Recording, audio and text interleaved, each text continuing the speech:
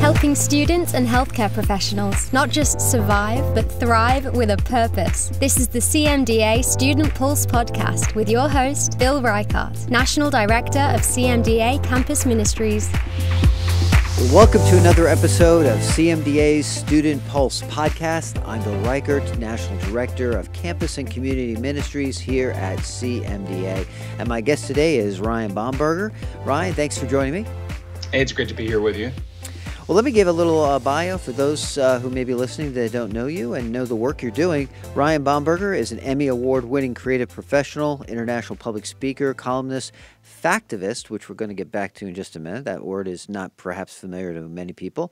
And the author of a powerful books such as Not Equal, Civil Rights Gone Wrong, and the new She is She illustrated children's book, which I have given to my two granddaughters, signed by Ryan. Thank you. Uh, they're they're loving that book.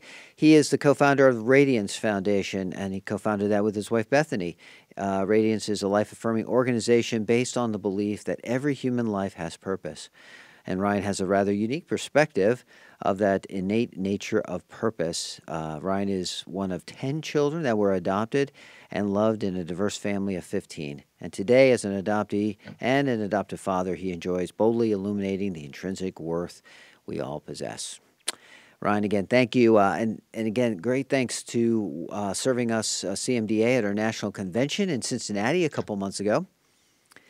Appreciated that. And you had a chance yeah. to not just speak to the group at large, but you spoke to our students and uh, you had a, a, message for them. Um, so what if you were hated? I think was the, the title of it, and uh, yes. I, am hoping we can flesh that out a little bit more because I love for the students that are listening and watching uh, this conversation to have, have have access to what what you discussed when you were with right. us in Cincinnati. So, but let's just back up a little bit, uh, Ryan. Just give us a little bit of background on what the Radiance Foundation is and what it does.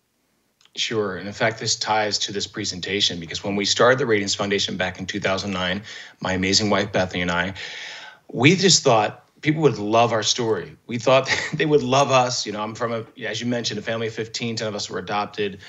I just figured that they would love my my story. They would love the story of my wife, who was a single mom who overcame an unplanned pregnancy and just showed courage and all that. But wasn't exactly the way it played out. So my background, other than you know being adopted in this beautifully diverse family with white, black, Native American, Vietnamese, able and disabled children, I am that exceptions case that so many people have a really hard time with. Um, I'm the the excuse all the time. I'm the one percent that use 100 percent of the time to justify abortion. My birth mom experienced the horror and the violence of rape but she was courageous enough not only to give me life but gave me the gift of adoption. And so that's part of the narrative of the radiance foundation. My wife and i wanted to be able to tackle these culture shifting issues primarily the issue of life because without life nothing else matters. But we wanted to to just tackle these culture shifting issues and equip people to have the confidence in talking about these these issues without the fear of being well canceled without the fear of being because that's going to happen. And so we started the radiance foundation to illuminate educate and motivate. We want to illuminate that every human life has god-given purpose educate about all of these culture shifting issues and then motivate people to take that knowledge take that faith and put it into action. Now, now perhaps that ties into why you call yourself a factivist. Maybe yes. define that uh, unpack that a little bit for us well, we see a society that is moved all the time by, you know, whatever the cultural trend is. And emotions are important. We're emotional beings. But we cannot rely on emotions to set us free. Truth sets us free. And what we have seen, particularly over the past few years, is you know, we see the dangerous consequences of acting just out in emotion. So what we try to do is fuse the emotional with the evidential. And as a factivist, as someone who is a creative but also loves all of the research, all the numbers, I want to bring context and clarity to issues that especially Christians should have no excuse not knowing. How in the world do we act out uh, against injustice if we don't actually understand what is actually going on? And so my encouragement to people is actually do the work, be proactive, find out a little bit more about the context of an issue. And whatever the social movement is, whatever the, the current thing is, we have to know before we act. We should act, we should never act, I should say, without the facts. And so that's why I'm a factivist. I'm also a, an, a columnist, so I'm writing all the time. I'm researching all the time, and as a creative, trying to figure out, okay, how do we message on this thing? But it's really hard to message if you're you're not really aware of the the dynamics in a particular situation. So that's why I promote factivism over mm-hmm. activism. All right. Well, you have an incredibly uh, uh, provocative and compelling personal story. You're relying on the facts, you're bringing the facts to bear. Needless to say, you would think uh, with all of that, uh, people would hear and receive your message, the things that you're speaking. But as you alluded to earlier, it doesn't always go that way. You get pushback at at best, and, and maybe a sense of hatred at worst. I mean, you get people who who dislike what you have to say. Um, speaking to that a little as to you know what do you do when people are responding that way how do you process that and you might i know you uh, uh i think illustrated that somewhat when you spoke to us in cincinnati about a uh, uh, you had a campaign that highlighted the issue of abortion and black lives and, and, and, ha- right. and how that kind of unfolded Right. Well, we were the first organization to launch a public ad campaign dealing with abortion's hugely disproportionate impact in the black community, where abortions outnumber the, the number of of live births. And so, New York City, for instance, for years, more have been aborted than born alive. And so, our Too Many Aborted.com campaign highlighted the history of eugenics, the, the racism and elitism that is eugenics, the present, the unaltered president of Planned Parenthood, the resources that are available. And so, we were demonized. We were called racist. I mean, I, have been called everything under the sun. It's really ridiculous. Um, and this is the thing. There, in our culture right now, there are two things that people will come at you to try to silence you. They will either try to gender shame you because you're the wrong gender. There are only 2 mm-hmm. um, but you're the wrong gender. If you're a guy, you're not allowed to talk about abortion, and and they will race shame you, mm. which if you're not the right color.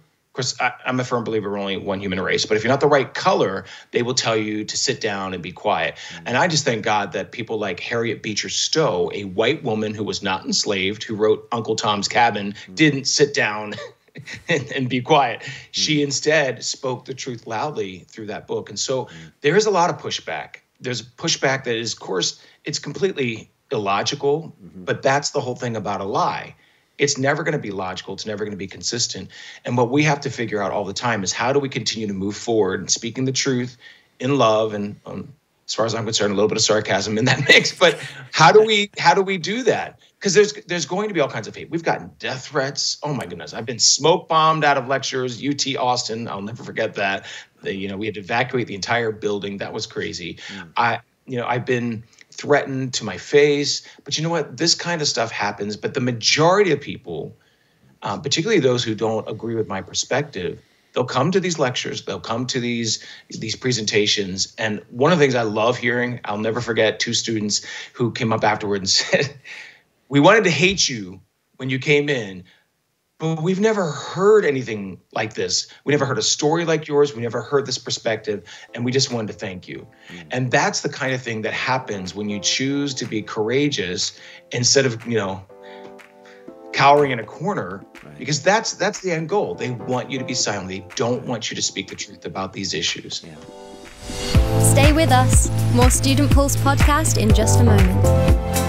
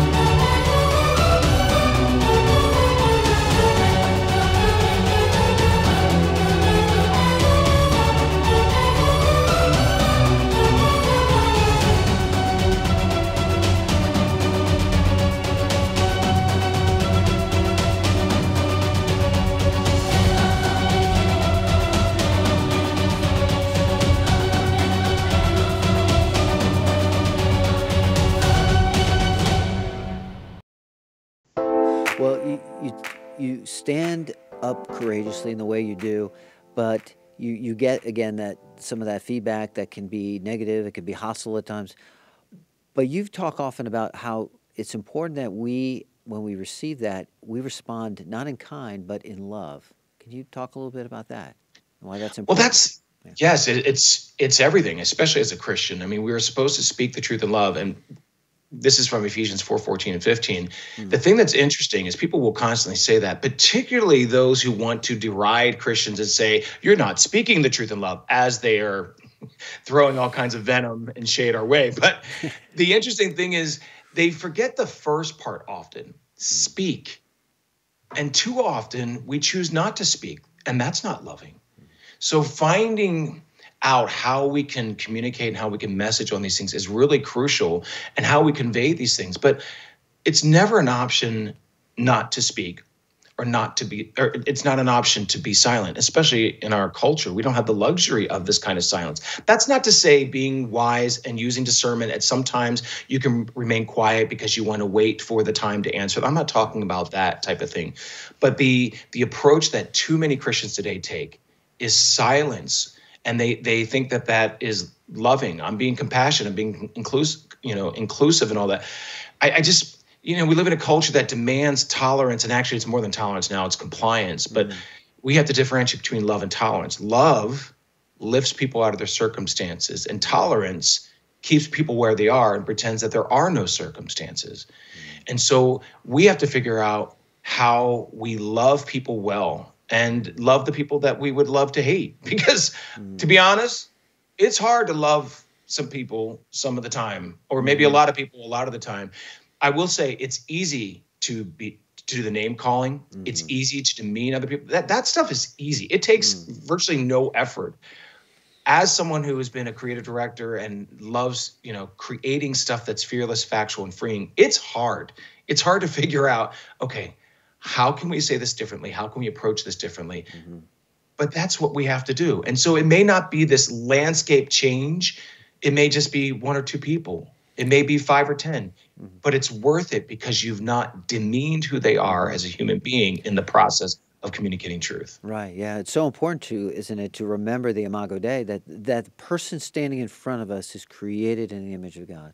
Exactly. Um, and remembering that does, you know, make sure that we don't overstep and get, you know, again, uh, exchange uh, hate with hate, and uh, but rather love that person.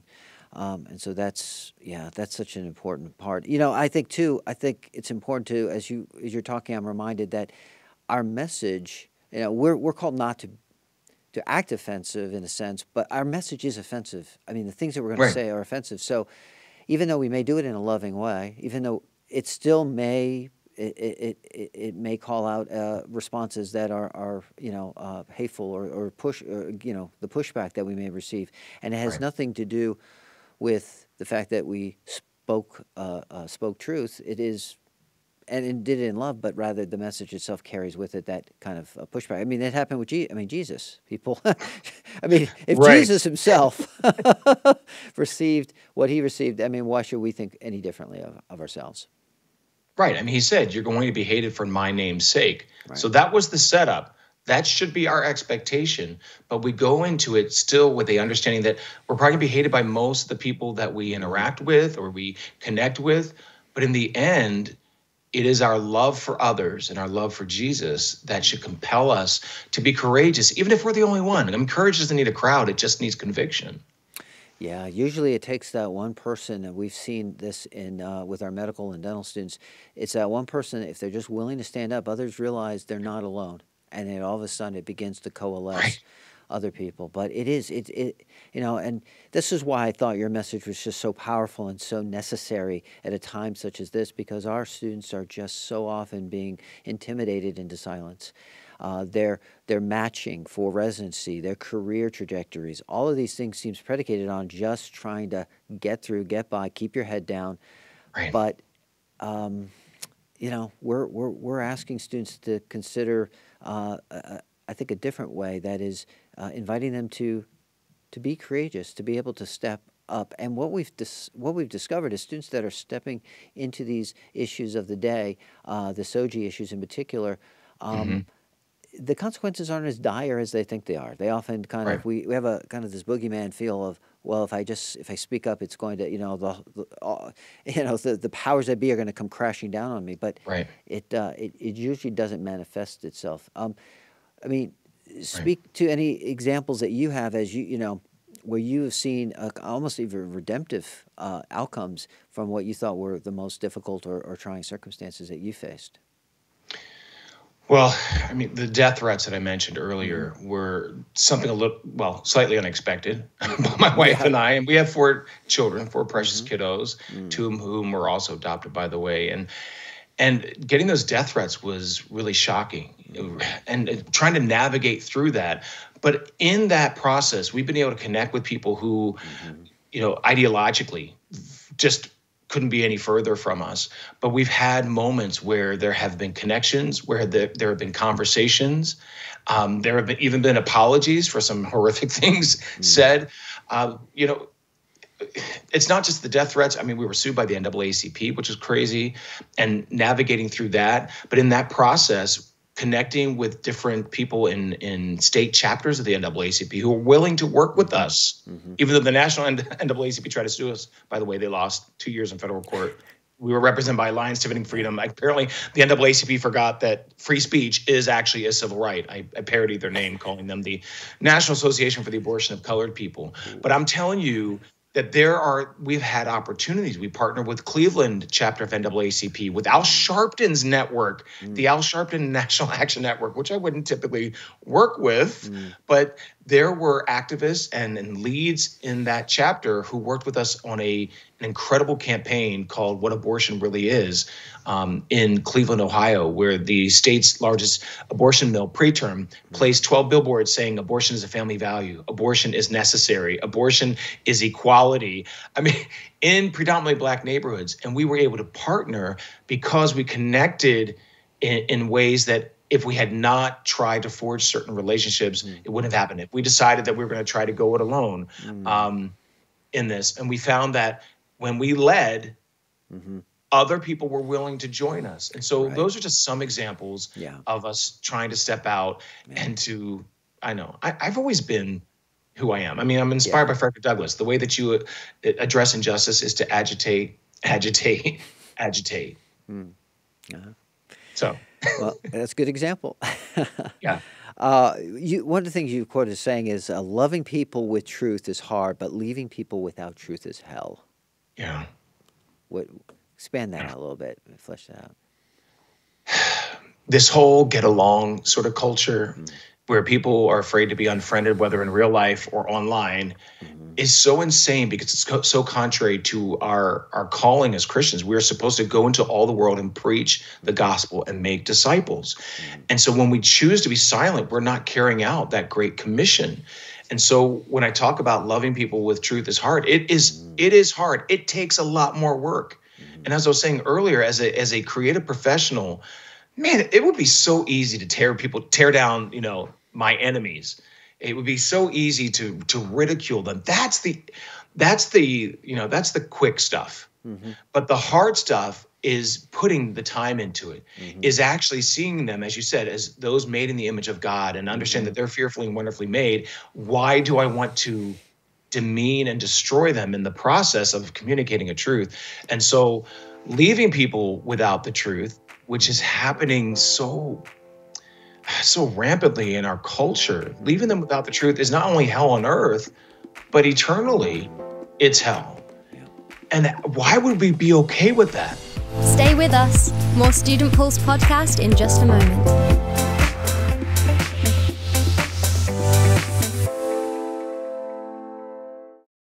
To learn more about CMDA, download our CMDA Student Life app, available for Android and iPhone. The app will give you access to CMDA events, tools, Bible studies, and a wealth of other resources. Also, joining CMDA can be done on the app, and it only takes about three minutes to complete. As a student, CMDA will underwrite your membership so that you can join the community at no cost. Download the app today.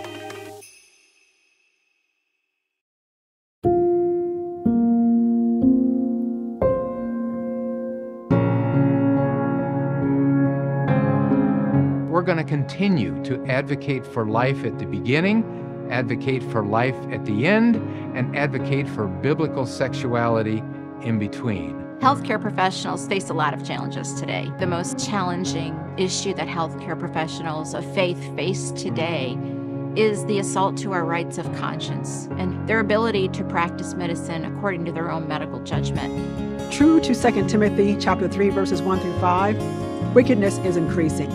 But God has placed you in the earth at this particular time to be his voice and his witness to such a time as this.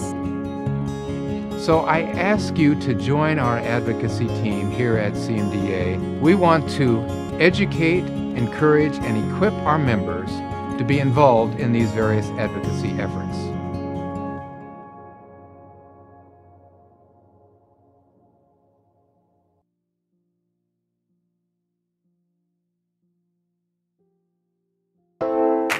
I mean, as Christians, we have to figure out, okay, so this this this approach didn't work. Okay, that was a failure. But guess what? It teaches you perhaps how to adjust, revise, and do something differently.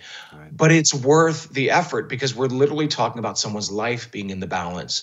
And that's why we should never be okay with simply just, well, I tried once or they're unreachable. Guess what? Mm-hmm some of us were supposedly unreachable at one point in our lives. And so it's not okay for us to give up. We have to keep going because in the end, we're here to to bring souls into the kingdom. And so as a creative, I play a role that may be different than someone in the medical field, which may be different than someone who is an architect. Mm-hmm. But we can play a role in in bringing the kingdom in our our spheres of influence and we have to figure out ways to do that. Yeah. Amen. One of the things you also touch on is this idea of our identity, which you know really resonates with me. This idea to understand that we are a child of God, that we are son and daughter of the King, and when when we're rooted in that reality, that truth, then our reputation doesn't really come as valuable as it might be because then we know that we're fully accepted by Jesus. Right. And there's right. nothing we can do to change that and alter that. And what other people say of us does not define us. It's what Christ says about us. Talk a little bit about how that's so important to, to be able to, to have the courage, to be able to stand in the gap, to be able to address these issues, to be able to uh, have the courage it takes. Why that identity, our identity in Christ is so important. You know, God gives us identity. The world gives us identity crisis. So look at, I mean, I, am brown, I'm white and black, and my entire life I've been, people have tried to force me into a particular box, force me into a particular category, force me to have hyphens, and I, I won't do it because my identity is rooted in something that is consistent, something that is rock solid, and that that affects everything. Because if I then identify first by, for instance, color, well, then it's not Christ. And that's why one of our initiatives is called Christ Before Color, mm-hmm. Christ before anything, but certainly Christ before color. And, and so when our identity is rooted in these temporal things, these things that ch- change with the culture, mm-hmm. then it's always going to be in flux. I have four kids who are white, black. They're, I mean, I'm part Native, I'm actually I'm more Native American than Elizabeth Warren. Um, I'm, I'm, white, black, G- German, Greek, Irish, uh, I'm missing a whole bunch of them. Nigerian. I mean, I am a mix of all these things.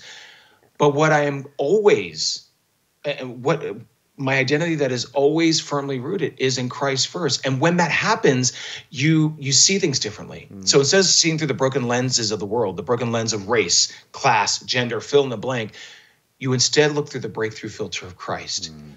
And it changes everything. I thank God my parents did. You know, they they couldn't have done what they did, adopting 10 children in addition to their three biological children, mm. had they not seen the world differently. And when we see the world differently, when you see that human life differently, you're going to react differently. You're going to want to figure out how can I love them well. Mm. And so when your identity is rooted in Christ, it won't be uprooted by everything else. Mm. Oh, amen. Good, good stuff. This is why I wanted you you on the podcast to be able to share the things that you shared uh, so well in Cincinnati to the audience out there. And um, let me give you an opportunity to speak directly to students that uh, you know I mean, anyone can listen to this podcast, but we think you know most of our audience are medical, dental, healthcare students. They're they're in the trenches. Uh, some of them may be feeling uh, isolated, alone. Some are with you know in community. Most, I hope, are in community. But they're they're facing real challenges every day. Things that are pressed upon certain worldviews, uh, certain agendas. Um, uh, speak to them, encourage them. What would you say to to again admonish, encourage, uh, exhort them to, hey uh, you know, stand in the gap, be courageous. Don't don't worry. It's okay if people hate you. Right. I mean, being hated doesn't feel good. it's not supposed to feel good. It's, mm. but it is a, it's the natural course of life. But I want to tell you, the world isn't changed by masses of followers. Mm. That's not how the world has changed. The world has changed by someone who says, "Wait a minute, I need to do this differently," because someone who has this conviction in their soul that something is just wrong. I'm going to go back to my childhood hero, Frederick Douglass. I mean, he was a former slave, an abolitionist. I mean, he was a fighter for human rights. Imagine if he hadn't start started the North Star. Imagine if he hadn't decided to to, to use the power of words to revolutionize the culture at that time. Yeah. I mean, I can't imagine slavery abolition happening without a Frederick Douglass. Mm you know our world our culture so desperately needs love so desperately needs truth and sometimes that comes the way of one single individual mm.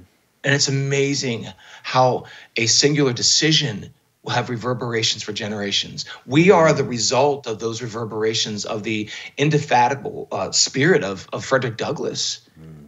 and, and many other individuals who stood out and said i won't go with that flow Mm.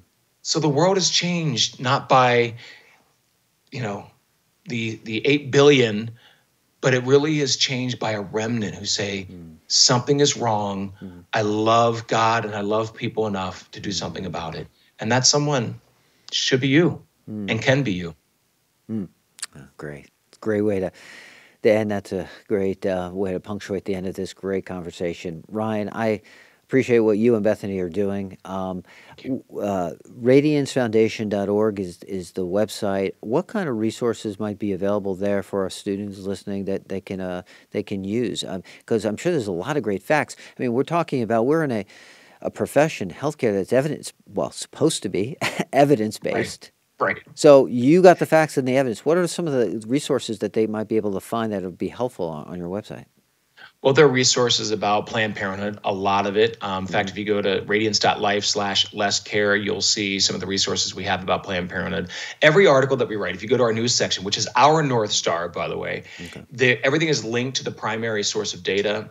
And we're huge about bringing that data so that people can actually see the statistics, not just you know percentage here and percentage there, but actual numbers that that make sense. Mm. So when we talk about maternal mortality, for instance, we also have resources on race and critical race theory and the cancer that it is that's spreading. Uh, if you go to onehumanrace.love, it's all part of Radiance Foundation. You'll mm-hmm. find it all uh, on our website. Okay. One other resource I do want to direct them to is mm-hmm. sheisshe.com. Yes, it's part of our new illustrated children's book, mm-hmm. but there are really great resources that aren't meant for children. The book is meant for young children, but the website has resources for teens, for adults, for students, mm-hmm. um, for parents to actually dig deeper into this gender radicalism, and that's mm. sheisshe.com. But we love creating the stuff that helps you, you know, engage this culture, not with fear but with the faith that you can actually shift culture. Mm. Amen. Well, again, thank you, Ryan. Thank you for being a part of our this discussion and conversation. And uh, we'll have all of those links and, and, and that information on the show notes. Um, again, thank you. And thank you all for listening and watching the latest issue, latest episode, I should say, of CMDA Student Pulse Podcast. And we'll see you next time. Thanks for watching. We'll see you next time. CMDA's Student Pulse podcast is a production of the Christian Medical and Dental Associations. The opinions expressed by guests on this podcast are not necessarily endorsed by the organisation. CMDA is non partisan and does not endorse political parties or candidates for public office. The views expressed on Student Pulse podcast reflect judgments regarding principles and values held by CMDA and its members.